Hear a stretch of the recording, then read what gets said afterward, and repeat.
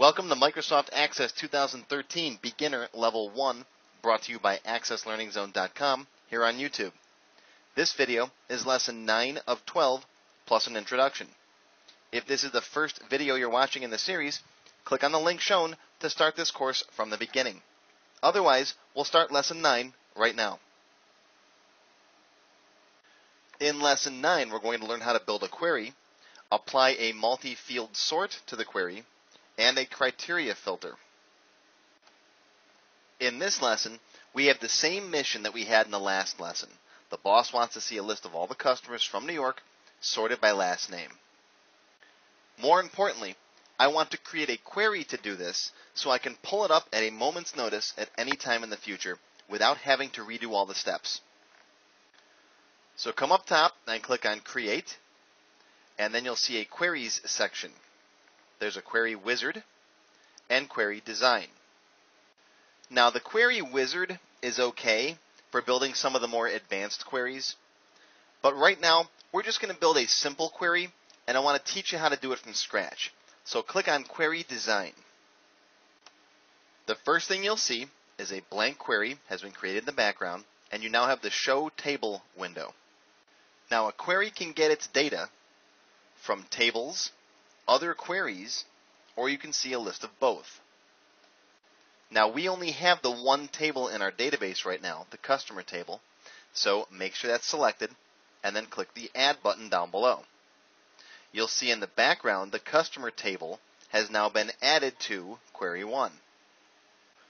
Now later on, when we have more tables in our database and we've built some other queries, we can actually make queries based on multiple tables. We'll talk about that in our more advanced classes. For now, we've got our table in there. Let's just click Close, and we can see our one customer table. Notice how the ribbon has changed. Now I have a Query Tools Design tab. You can see there's a Run button, a Query Type section, all kinds of new buttons. Down here on the bottom, you'll see there's different columns. This is where we're going to put our query fields. Over here, the rows are labeled field, table, sort, show, and so on. We'll talk about this in just a moment. Now, I will tell you, this is one of the stranger things you're going to see in Access. This interface isn't really intuitive until you get to know how it works. Once you get the hang of this, it's really quite simple, but for new users seeing this for the first time, it's a little confusing. Basically, here's how it works. Up here is the table that we're getting the data from. Down here is where you're going to put the fields that you want to see in the query. So in a nutshell, we take the stuff that we want to see from the table and just bring it down below. So let's say I just want to see a list of first and last names. I'm going to bring first name and last name down into the query. So click on first name, then click and drag it right here into that first column and let it go. Now you have first name in column 1. Now find last name click and drag it down here into column 2. So now your query consists of the customer table showing first name and last name. It's that easy. That's all you have to do to see a list of first names and last names. Here you'll see the field name, first name, last name, the table they're from, because remember, you can have multiple tables in a query, so they're both from the customer T. We'll talk about sort and criteria in just a minute. Now to see the result that the query is going to produce, take your mouse and click on the Run button right up here. There's your list of first name and last name. Now that's exactly what I've asked for at this point. I told the query, just show me a list of first name and last name. That's it. You get all your customer records, 1 through 11, first name and last name. It's not sorted yet, and there's no filter, because I haven't told the query to do that yet. Access gave us exactly what we asked for. Now let's say in addition to first name and last name, I also want to see the phone number. Maybe that's the reason the boss wants this list. So we can see a list of all of his customers, first name and last name, with their phone number. So let's go back to design view. Here's the design view button. If you drop this down, you'll see there's datasheet view, SQL view. That's a little more advanced. We'll talk about that in future classes. And design view. Let's go back to design view. Look at that. Look familiar? That's the design view for the query. Let's add phone number. Find the phone number field right there, click on it, then drag it right down here and drop it in column 3. Now if I run the query again, there's the additional field. First name, last name, phone number. How about another field? Let's say you want to add credit limit. So let's find the credit limit field right there. Now here's a trick. Instead of clicking and dragging, we can just double click on the field. Watch this. Double click, and there it goes. It will automatically appear in the next open column. And now if I run the query, there's the extra field. But now the boss says, oh, wait a minute, I don't want that information on this. I don't want everyone to be able to see credit limits. This is just to be a simple phone number field that I can put on the bulletin board. Okay, fine. Back to design view. How do you get rid of a column? Well, you can delete a column by clicking on this little tiny bar right above the column. You'll see your mouse turns into a downward pointing arrow. Click right there, and then press delete on the keyboard. And that's how you get rid of a column. Now, how do I sort this information? Well, if you're in datasheet view, you can apply sorts up here, but these sorts aren't permanent. They don't stay with the query.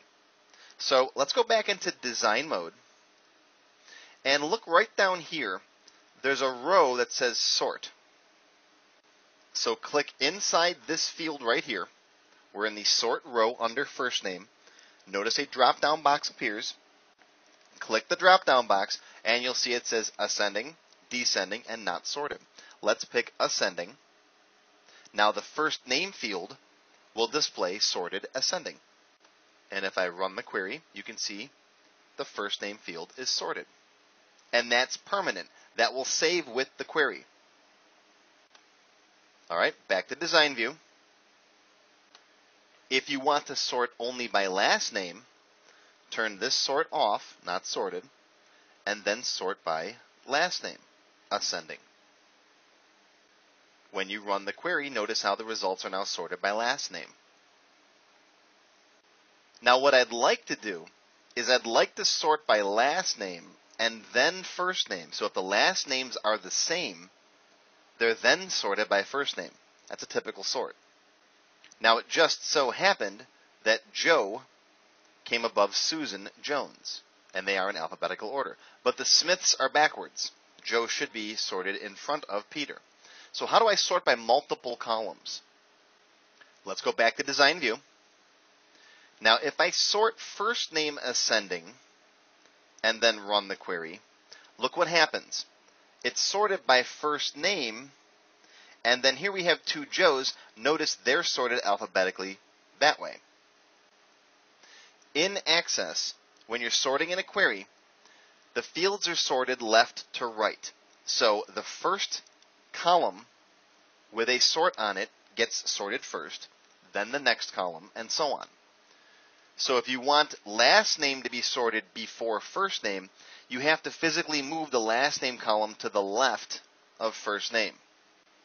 Now, how do we move a column? Well, remember how we select a column by clicking on that little tiny box right above the column where you see the downward pointing arrow. Click there. Now, let it go. Hand off the mouse. Now, you're going to have a white arrow. Click and then drag that column to the left. And there we go. That's how you move a column. Let's say I want to move the phone number column up front, right? Click here, let it go, click again on the same spot and drag it to the left and drop it there. All right, let's put it back where it was. Click up here and drag it to the right. See that? That's how you move those columns around. Now that I've got last name as the first column in the query, it should sort by last name, then first name. And if I run the query, you can see that is the case. The Smiths are now sorted correctly. Okay, so back again to design view. Let's save this query. Now this is the major benefit of queries is we can save this and never have to do this work again in the future. So click the save button or hit control S on your keyboard. You'll get the save as window up. I'm going to save this as customer Q. No space. Remember, I like to end all my queries in the letter Q. And now I'll click OK. Notice the customer Q appears over here under the queries section in my navigation pane. Now, if I close the query, I can run it again, by just simply double clicking on customer Q. And there it is. There's my set of data sorted by last name, comma, first name. And I didn't have to do any of that work again. Someone who doesn't even know Access can come in here and just run this query. Now that was a pretty simple query, but you can make some pretty complicated queries. Now we're not finished with our query just yet because the boss said I only want to see customers from New York. So let's go back to design view. So now we need to filter our results based on the state. So we need to add the state field to our query. So find the state field. It's right there. Double click on it. That will add the state field to our query. If I run the query now, you'll see there's all the states. I haven't filtered it yet. I haven't told Access to do anything. Now we could just come in here and apply a filter like I showed you in the table. But remember, this type of a sort or filter does not save with the query. So let's go back to design view. Notice down here, there's a row that says criteria. The criteria row is where you basically specify filters for these fields. They can get a lot more complex than using the table-based filters I showed you earlier. Now I'm going to come down here in the state column in the criteria row and type in what I want for a criteria. In this particular case, I want to see all the customers from New York. So I'm going to type in NY and then press enter or tab. Now notice Access automatically put that inside of quotes. In Access, whenever we're dealing with text values, that's called a text string, we have to make sure we put it inside of quotes. Now, in this particular case, Access realized that we needed the quotes and added them for us. It doesn't always do that, so just keep it in mind. Text value criteria have to be inside of quotes. Okay, so let's run the query again and look at that. I've set up a criteria saying that I only want to see customers from New York, and there they are. Now notice in this particular case, you do not see a filter applied down here because this isn't a filter, it's a query criteria, which is different. A filter is something you apply on the fly, and it's not saved with the table or query. The query criteria is a permanent part of this query. Now I want to save this query so I can pull this list up at any time in the future without having to do all this again. But don't just hit Control S or don't just click on the floppy disk because what happens is it will save it right over the old customer Q.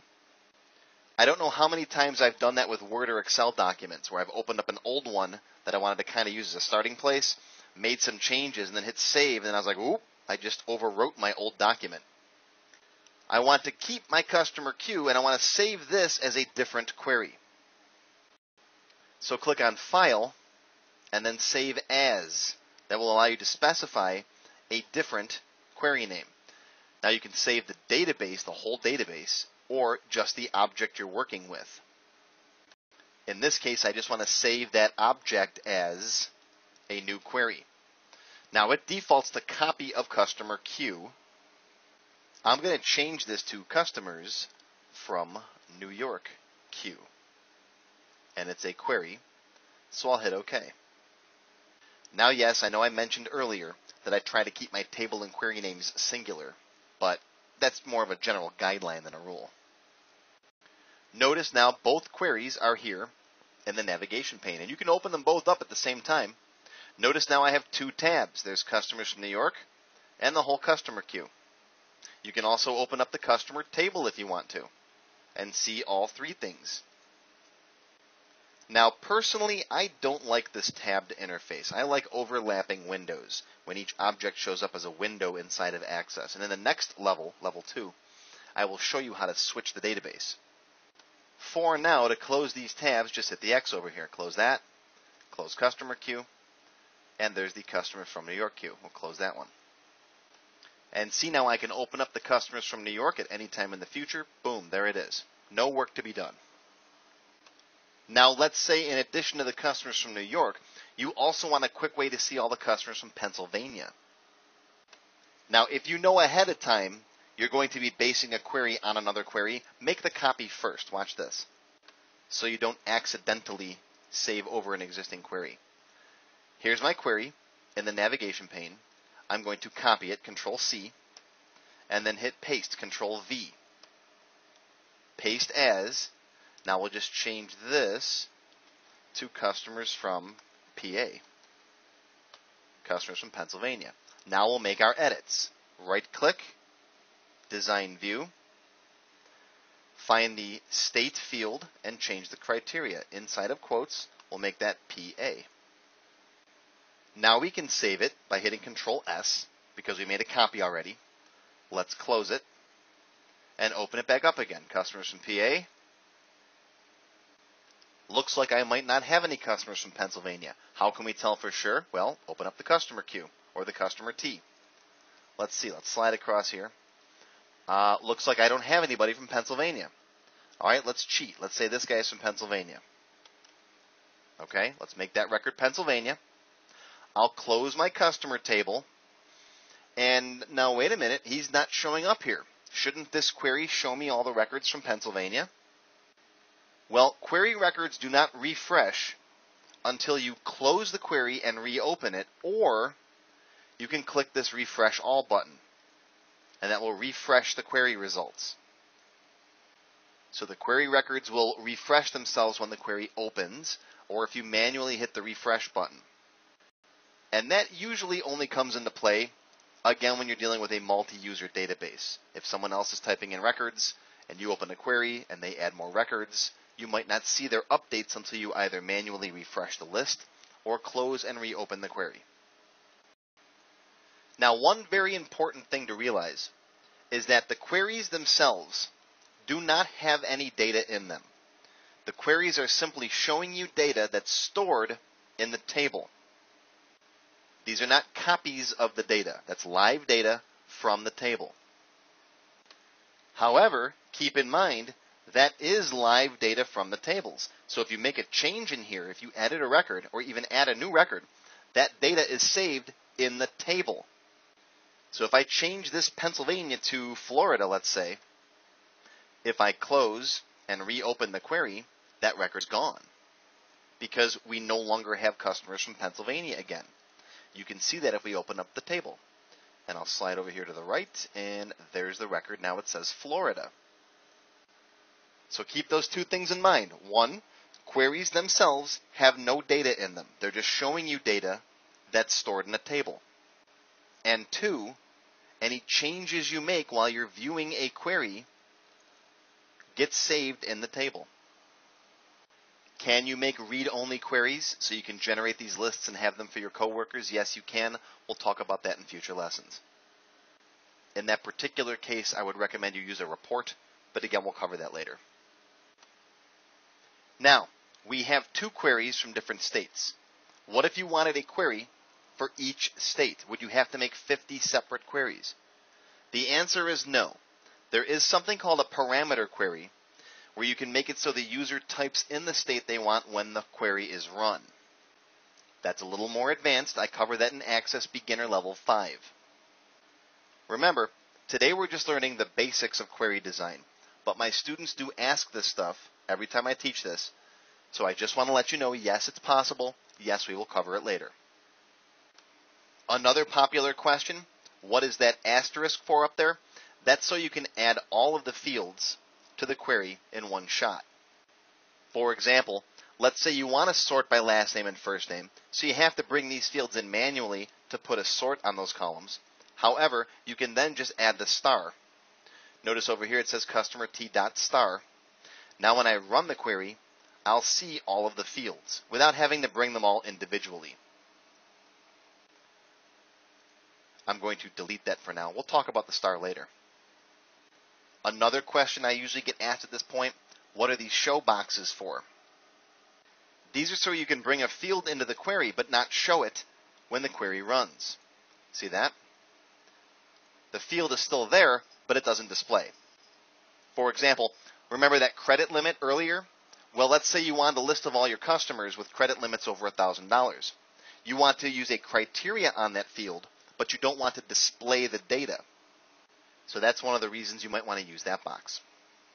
Now, there are tons of things you can do with queries. I literally just scratched the surface today. You can make queries with multiple tables. You can make queries that prompt the user for information. You can make queries that edit records in a table, or delete records. There's all kinds of things you can do. I cover queries throughout my entire series of classes. If I were to put it all together, there's probably 100 hours just on queries, but that's all you need to know today to make basic queries to sort and filter your data. And to save those queries so you can run them later without having to do any work. Now in the next lesson, we're going to learn how to build a form to make a nice user-friendly interface for our end users. Thanks for watching. If you like this video, be sure to give us a thumbs up and comment below. Be sure to subscribe to my channel. I post new videos all the time. Click to start lesson 10 now. And be sure to visit my website, accesslearningzone.com, for more free videos and to sign up for the entire Level 2 series for just $1.